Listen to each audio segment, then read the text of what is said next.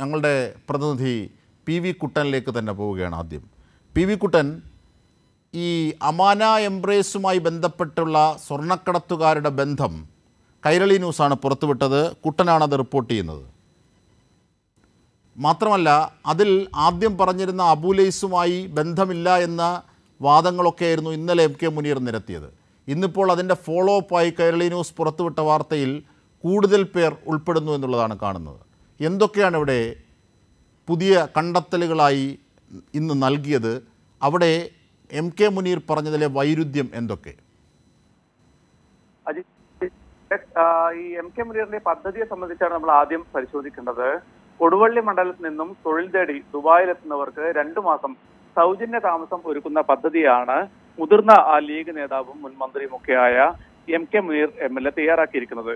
Amana gold ഗ്രൂപ്പുമായി ചേർന്നാണ് ഈ പദ്ധതി അതായത് അമാന എംബ്രേസ് എന്ന പേരിലാണ് ഈ പദ്ധതി നടപ്പിലാക്കുന്നതെന്ന് മുനീർ നവമാധ്യമങ്ങളടക്കം വലിയ രീതിയിൽ പ്രചാരണം സംഘടിപ്പിച്ചു അദ്ദേഹത്തിന്റെ പ്രസ്റ്റേജ് പദ്ധതി എന്ന രീതിയിലാണ് ഈ പദ്ധതി അവതരിപ്പിച്ചിരുന്നത്. പക്ഷേ ഇതുമായി ബന്ധപ്പെട്ട ചില അന്വേഷണം നമ്മൾ നടത്തിയപ്പോഴാണ് ഈ പദ്ധതിയിൽ സ്വർണക്കടത്തുമായി ബന്ധപ്പെട്ട ചില പ്രതികളൊക്കെ ഈ പദ്ധതിയുടെ ഗവേണിംഗ് ബോഡിയിൽ എത്തി എന്നുള്ള വളരെ ഞെട്ടിക്കുന്ന വിവരം കേരളത്തെ ആകെ കേരള സമൂഹത്തെ ആകെ ഞെട്ടിക്കുന്ന വിവരം നമുക്ക് ലഭിച്ചത്. ആദ്യഘട്ടത്തിൽ നമ്മുടെ അന്വേഷണത്തിൽ ഈ സ്വർണക്കടത്ത് കേസിൽ കൊഫേപ്പോസ പ്രകാരം ശിക്ഷിച്ച അബുലൈസിനെ കുറിച്ചുള്ള വിവരമാണ് ലഭിച്ചിരിക്കുന്നത്. അബുലൈസ് ഈ പദ്ധതിയുടെ അമാന എംബ്രേസിന്റെ ഗവേണിംഗ് ബോഡിയിലേക്ക് എത്തുന്നു. നമുക്കറിയാം കേരളത്തിൽ എനിക്ക് തോന്നുന്നു കേരളത്തിലെ മാധ്യമപ്രവർത്തകർക്കും പൊതുസമൂഹത്തിനും ഉൾപ്പെടെ അറിയാം അബുലൈസ് എന്നുള്ള പേര് വളരെ പരിചിതമാണ്. കൊഫെപോസ പ്രകാരം ഈ സ്വർണക്കടത്ത് കേസിൽ തടവിലിട്ട വളരെ കുപ്രസിദ്ധമായ രീതിയിൽ ഉള്ള ഒരാളാണ് അബുലൈസ് അതോടൊപ്പം തന്നെ ഇതിനകത്തുള്ള ഏറ്റവും പ്രധാനപ്പെട്ട രണ്ടായിരത്തി പതിമൂന്നിൽ കരിപ്പൂർ എയർപോർട്ട് വഴി സ്വർണം കണ്ടെത്തിയ കേസിൽ എയർ ഹോസ്റ്റസ് അറസ്റ്റിലായിരുന്നു. ഈ കേസിലെ മുഖ്യപ്രതിയാണ് അബുലേസ് ആ ഘട്ടത്തിൽ തന്നെ പല കേസുകൾക്കകത്തും അബുലേസിന്റെ പേരുകൾ പരാമർശിച്ചിരുന്നു. പക്ഷേ ഈ രണ്ടായിരത്തി പതിമൂന്നിൽ കേസെടുത്ത ഉടൻ തന്നെ അബുലേസിൽ അബുലേസ് ഒളിവിൽ പോവുകയായിരുന്നു. പിന്നീട് രണ്ടായിരത്തി പതിനേഴിലാണ് അബുലേസിനെ അറസ്റ്റ് ചെയ്യുന്നത്. കൊടുവള്ളിയിലെ സജീവ ലീഗ് പ്രവർത്തകൻ കൂടിയാണ് അബുലേസ് കേരളത്തിനകത്തും പുറത്തുമുള്ള വിമാനത്താവളങ്ങൾ വഴി സ്വർണം കടത്ത സംഘത്തിലെ പ്രധാന നേതാവാണ് ഇദ്ദേഹം എന്നുള്ളത് വളരെ കൃത്യമായ വിവരമാണ്. ഇയാളെയാണ് ലീഗ് നേതാവിന് അതായത് എം കെ മുനീർ തന്റെ പദ്ധതിയുടെ മുഖ്യ സംഘാടകനായി നിയമിച്ചത്. ഈ വാർത്തയായിരുന്നു കൈരളി ന്യൂസ് ആദ്യം പുറത്തുവിട്ടത്.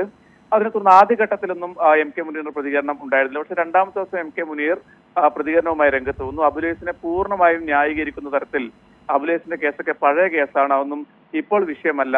അതോടൊപ്പം തന്നെ അദ്ദേഹം പറഞ്ഞ വളരെ അപകടകരമായ സ്റ്റേറ്റ്മെന്റ് ഉണ്ടായിരുന്നു. ഈ പള്ളിയെ ഭീകര കേന്ദ്രമാക്കാനുള്ള ആസൂത്രിതമായ നീക്കം നടക്കുന്നത് ഉൾപ്പെടെയുള്ള വളരെ വിവാദപരമായ പ്രസ്താവനയും എം കെ മുനീറിന്റെ ഭാഗത്തുനിന്നുണ്ടായിരുന്നു തനിക്ക് സ്വർണക്കടത്തുകാരുമായി ഒരു ബന്ധവുമില്ല. തന്റെ പദ്ധതിയിൽ അങ്ങനെ ഒരാളുമില്ല എന്നുള്ള പരാമർശം എന്നുള്ള വിശദീകരണവും എം കെ മുനീർ നടത്തി. പിന്നീടാണ് നമ്മൾ ഇതുമായി ബന്ധപ്പെട്ട കൂടുതൽ അന്വേഷണത്തിലേക്ക് യമാന എംബ്രേസ് പദ്ധതിയുമായി ബന്ധപ്പെട്ട് കൂടുതൽ അന്വേഷണത്തിലേക്ക് നമ്മൾ നീങ്ങുന്നത്. ആ ഘട്ടത്തിലാണ് അബുലേസ് മാത്രമല്ല അതിനകത്ത് വേറെയും സ്വർണക്കടത്തുമായി ബന്ധപ്പെട്ട വേറെയും ചില ആൾക്കാർ ഈ പദ്ധതിക്ക് ഇതിന്റെ ഗവേണിംഗ് ബോഡിയിലുണ്ട് എന്നുള്ള വളരെ സുപ്രധാനമായ വിവരം കൈരളി ന്യൂസിന് ലഭിക്കുന്നത്. അത് തെളിവ് സഹിതമാണ് കൈരളി ന്യൂസ് വാർത്ത ഇന്ന് പുറത്തുവിട്ടത്. കൂടുതൽ സ്വർണക്കടത്തുകാർക്ക് മുനീറിന്റെ പദ്ധതിയുമായി ബന്ധമുണ്ടെന്ന വിവരങ്ങൾ കൈരളി ന്യൂസ് തെളിവ് സഹിതം പുറത്തുവിടുകയായിരുന്നു. അതിൽ ഏറ്റവും പ്രധാനപ്പെട്ട അജിംഷാദെ നമ്മൾ ശ്രദ്ധിക്കേണ്ടത് കാരണം കേരളത്തിനകത്തും പുറത്തുമുള്ള വിമാനത്താവളങ്ങൾ വഴി നിരവധിയായ സ്വർണക്കടത്തുകൾ പല ഘട്ടങ്ങളായി നടന്നിരുന്നു. അതൊക്കെ പിടിക്കുമ്പോൾ വാർത്തയായി വരുമായിരുന്നു. പക്ഷെ കേരളം ഏറെ ഞെട്ടിയ ഒരു സംഭവം എന്നുള്ളത് രണ്ടായിരത്തി ഇരുപത്തി ഒന്നിൽ നടന്ന രണ്ടായിരത്തി ഇരുപത്തി ഒന്ന് ജൂൺ മാസം ഇരുപത്തി ഒന്നിന് നടന്ന ഒരു സംഭവമാണ് കരിപ്പൂർ എയർപോർട്ടിന്റെ പരിസരത്ത് രാമനാട്ടുകരയിൽ വെച്ച് അഞ്ച് യുവാക്കൾ ഒരു അപകടത്തിൽ അഞ്ച് യുവാക്കൾ മരിക്കുന്നു രാമനാട്ടുകരയിൽ വെച്ച്. അത് സ്വാഭാവികമായ അപകടമാണ് എന്നുള്ളതായിരുന്നു ആദ്യഘട്ടത്തിലുള്ള ഒരു വിവരം. മാധ്യമപ്രവർത്തകർ ഉൾപ്പെടെ ആദ്യഘട്ടത്തിൽ ലഭിച്ച വിവരം അത് സ്വാഭാവികമായ ഒരു അപകടം എന്നാണ്. പക്ഷെ പിന്നീടാണ് ആ അപകടത്തിന് പിന്നിൽ വളരെ ഞെട്ടിക്കുന്ന വിവരങ്ങൾ പുറത്തു വരുന്നത്. അവിടെ സ്വർണക്കടത്ത് സംഘം സ്വർണം കടത്തുന്നു. അത് പൊട്ടിക്കാൻ വേണ്ടി മറ്റൊരു സംഘം എത്തുന്നു. അത് അവരെ പിടിക്കാൻ വേണ്ടി വേറൊരു സംഘം എത്തുന്നു. ആ ഘട്ടത്തിലുണ്ടായ അപകടത്തിലാണ് ഈ അഞ്ചു പേർ മരിച്ചത്. ആ ഞെട്ടിക്കുന്ന സ്വർണക്കടത്തിനകത്തെ മുഖ്യ ആസൂത്രകനായ ആസൂത്രകനായ സലാം ഓക്കെ സലാം എന്നൊരാളാണെന്ന് കസ്റ്റംസിന്റെ റിപ്പോർട്ട് ഉണ്ടായിരുന്നു ഈ റിപ്പോർട്ടിനകത്ത് വളരെ കൃത്യമായ വിവരങ്ങൾ അതിനകത്ത് വരുന്നുണ്ട്. അതായത് എം കെ മുനീർ പറഞ്ഞത് തനിക്ക് സ്വർണക്കടത്തുകാരുമായി ബന്ധമില്ല ബന്ധമില്ല എന്നുള്ളതാണ്. പക്ഷേ രണ്ടായിരത്തി ഇരുപത്തി ഞാൻ നേരത്തെ വിശദീകരിച്ച പ്രമാദമായ കരിപ്പൂർ സ്വർണക്കടത്ത് കേസിൽ കസ്റ്റംസ് ഷോക്കോസ് നോട്ടീസ് നൽകിയ ഒ കെ അബ്ദുൾ സലാം എന്ന ഒ കെ സലാം ഈ അമാന എംബ്രേസിന്റെ ഗവേണിംഗ് ബോഡിയിലുണ്ട്. ഈ ഗവേണിംഗ് ബോഡിയിലെ ലിസ്റ്റ് എടുത്ത് നോക്കിയാൽ നമുക്ക് മനസ്സിലാകാം അഞ്ചാമത്തെ പേരിലെ ഒ കെ സലാം എന്ന് പറയുന്നത് ഈ അബ്ദുൽ സലാമാണ്. ഞാൻ നേരത്തെ സൂചിപ്പിച്ച കേസിനകത്തെ വളരെ നിർണായകമായ പങ്ക് ഇയാൾക്കുണ്ടെന്നാണ് കസ്റ്റംസിന്റെ രേഖകൾ. ഇത് നമ്മൾ പറയുന്നതല്ല കസ്റ്റംസിന്റെ അന്വേഷണ രേഖകൾ വ്യക്തമാക്കുന്നതാണ്. ഈ ഷോക്കോസ് നോട്ടീസിന്റെ പകർപ്പാണ് കൈരളി ന്യൂസ് ഇന്ന് രാവിലെ പുറത്തുവിട്ടത്. അതേസമയം തന്നെ കസ്റ്റംസിന്റെ ഉദ്യോഗസ്ഥർ നമ്മോട് പറയുന്നത് ഈ കേസിനകത്ത് നിരവധി തവണ ഹാജരാകാൻ ആവശ്യപ്പെട്ടിട്ടും അന്വേഷണ സംഘത്തിന് മുന്നിൽ ഹാജരാകാൻ സലാം തയ്യാറായില്ല.